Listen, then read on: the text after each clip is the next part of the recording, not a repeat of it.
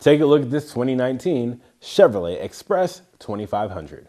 It has about 19,000 miles on the odometer. Underneath the hood, there is a 4.3 liter V6 engine with an 8 speed automatic transmission with overdrive. You'll be able to transport just about anything you might need in this large cargo area. There is a backup camera as well to help aid in parking should you need it. This Express even has AC and AM FM radio.